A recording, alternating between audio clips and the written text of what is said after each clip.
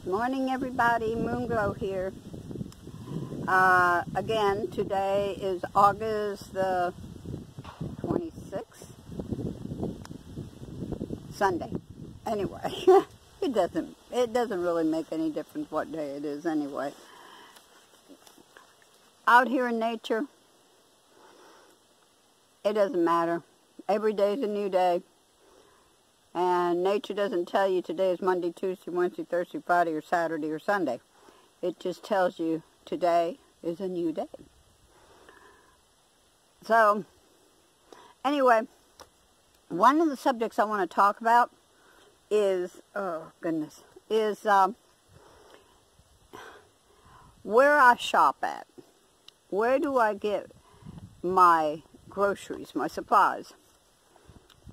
Generally, uh, I go to Dollar General, Family Dollar. Um, oh my goodness, uh, there's a what is it, Dollar Tree and 99 cent store. It's cheap. You get the same thing, the same kind of canned food that you get in a grocery store, but considerably cheaper. Now, if I want fresh fruits and vegetables and I want fresh meat, then I do go to a grocery store and I don't go to the little mom and pop ones because they're a little higher and I can understand why. And if I had the money, I would. But I try to go like to Brookshire's or um, Winn-Dixie or Publix or anything like that to get my fresh meat and my fresh veggies. Uh, I also love to stop at little stands, you know, on the road and buy my vegetables or fruits, whatever they have available there. I like to do that also. Um, for some reason, when, when it comes to those little fruit stands or veggie stands, I feel better about what I'm buying than I do in a grocery store because I don't know where it comes from, what they use, you know, and uh, you have to be careful what you put inside of you because what you put in you is what comes out. And that could be a lot of sickness too. So anyway, those are basically where I do my my shopping.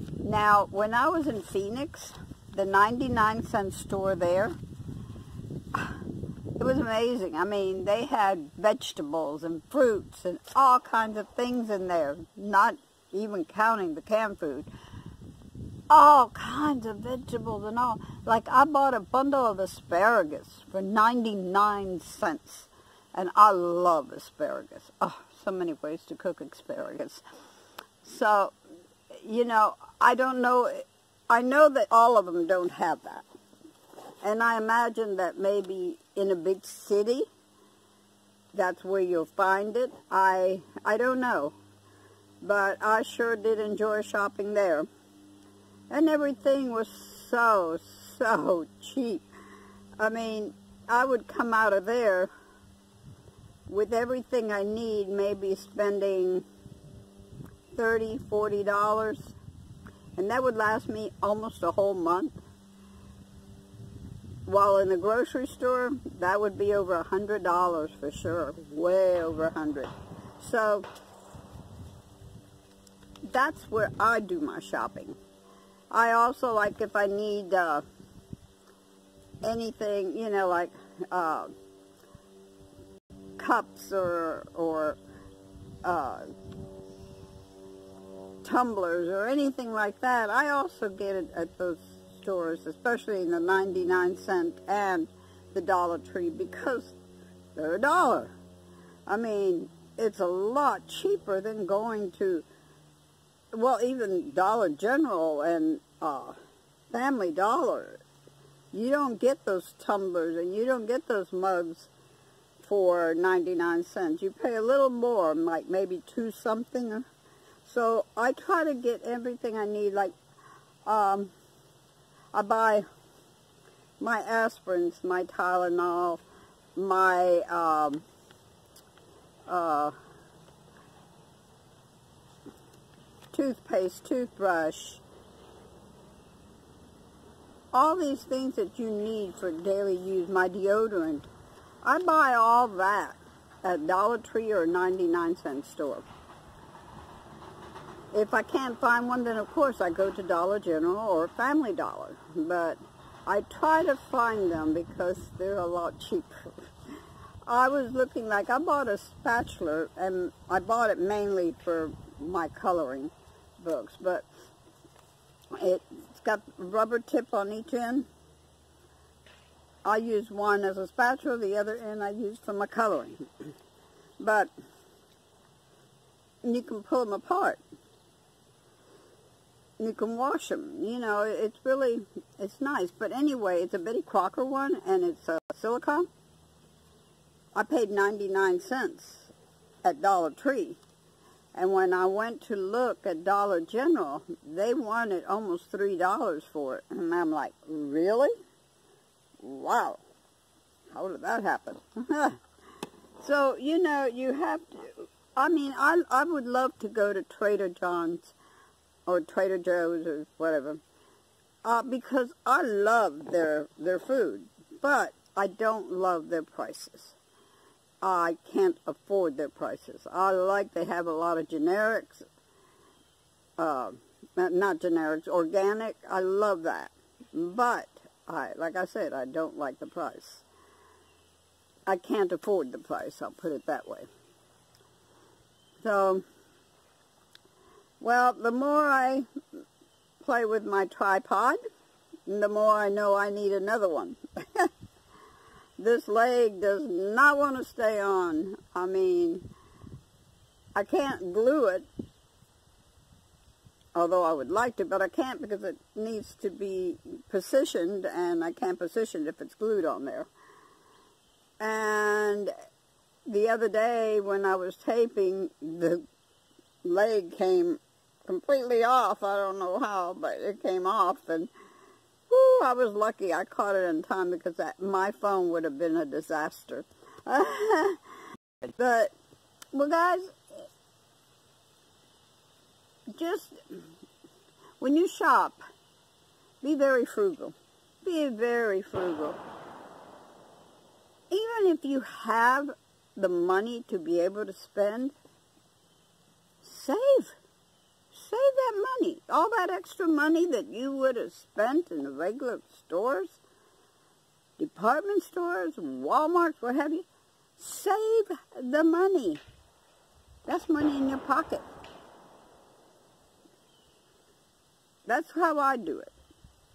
Anybody else, I don't know, but that's the way I shop. I buy most of my meats a can, come in a can, because it's easier to preserve, you know. And as far as vegetables, I've got a lot of dehydrated vegetables um, that I can use anytime I want. I try not to use it now because there's going to come a time that we might just need to use it. So I try not to use very much of it. Um, As I said in my earlier video, you know, my heart goes out to the McCain family. It's really bad, but he was a hero to the end. McCain was a hero to the very end. Um, oh, another person that passed that I really admired was Aretha Franklin. She was awesome, awesome. And uh, my condolences goes to her family too. I found out the other day, just looking through Facebook, and I hadn't talked to this friend of mine since last October. And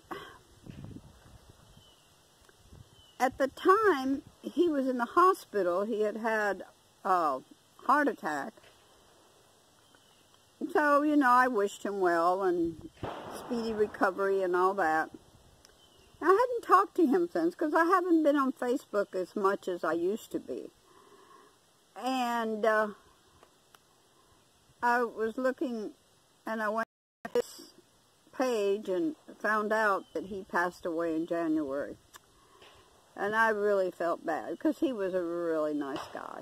I He was really nice. He's the one that encouraged me to, in the summertime in Arizona, it's so hot. And he lived in Quartzsite.